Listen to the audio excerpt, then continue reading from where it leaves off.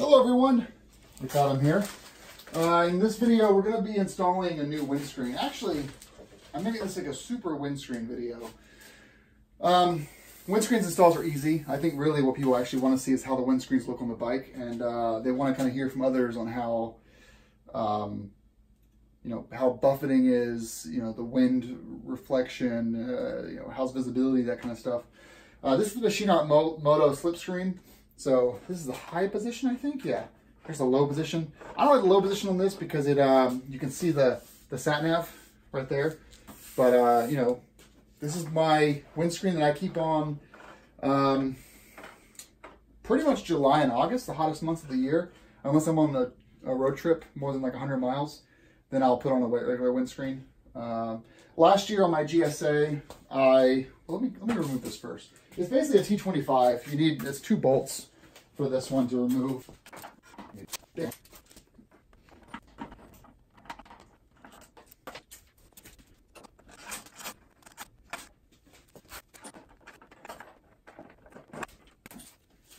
So this is kind of the, you know, this is the totally stock, not stock look, but, you know, windscreenless look. Uh, the only difference I'll have, which is which versus what you guys have, is I have these um, Z-Technik uh, stabilizers here for the larger windscreens. So, Machine Moto, very nice. I love how it looks on the bike. Doesn't really keep much wind off of you, but if it's super hot out, it's nice. And if you're off-roading, it's awesome for that. So here's the uh, the GSA windscreen on the bike. Upper position, very dusty. In lower position,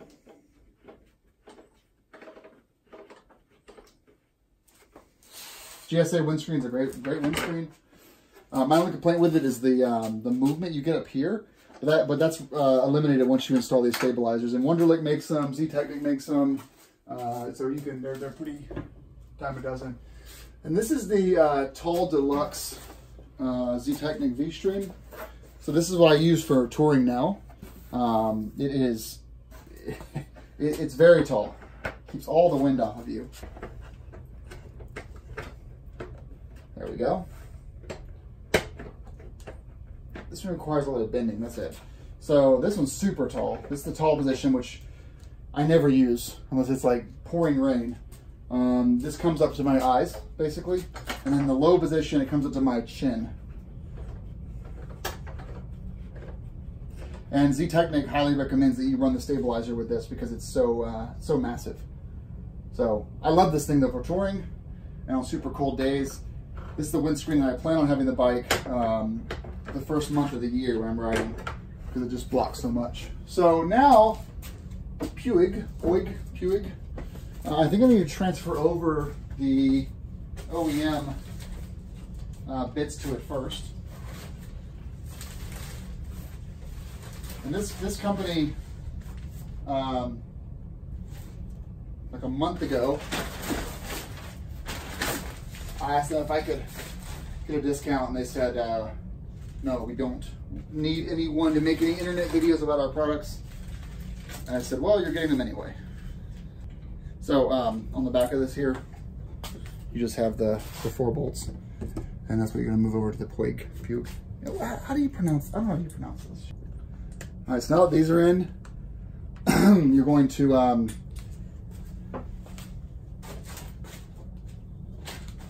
basically put in the OEM bits uh, back in their respective places.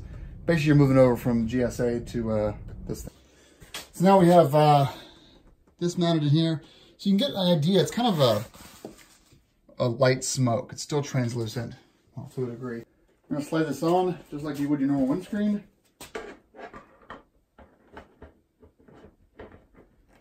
Already, this fits better than the um, Z-Technik did. The Z-Technik, you kind of have to, the V-Stream, you kind of have to bend in a little bit to make it work. And Puig has uh, these awesome like lines for wind flow. It's kind of nice actually. So my concern with, the reason why I didn't want to buy this new, I wanted to wait for it to come up on uh, as a used sale on the Venture Rider, is because I was concerned, so at least I could sell it for what I paid for it. I was concerned that um, it would be uh, impossible to see the road in front of you with this, even on the lowest setting. Um, let's see. I'll bring you guys around the back in a second.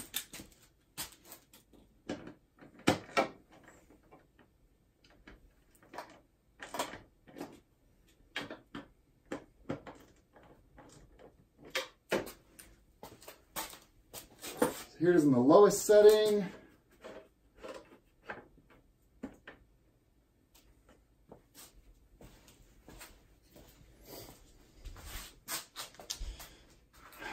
I don't like it. I don't like how it looks, at least in this angle. I thought it would complement the black blackout stuff that we had, but uh, I don't like it. On the upper level, this is probably why uh, Puig doesn't want YouTube people reviewing their shit. So let's bring let's go around back here. I'll put you guys uh, hip level. So this is about where I would be sitting on the bike. You can't, you can't see shit. Let's go lower level.